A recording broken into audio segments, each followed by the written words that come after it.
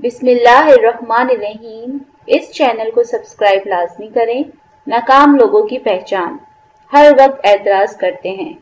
हर मामले में खुद को हकदार समझते हैं। इनको खुद समझ नहीं आता कि वो क्या चाहते हैं। दूसरों के बारे में बातें करते हैं। अपनी नाकामियों का इल्ज़ाम दूसरों को देते हैं।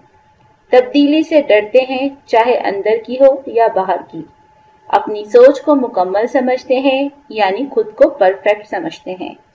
बेमकसद ज़िंदगी गुजारते हैं, दूसरों से इल्म छुपाते हैं। समझते हैं, इनको सब मालूम है, दूसरों की नाकामी पर खुश होते हैं।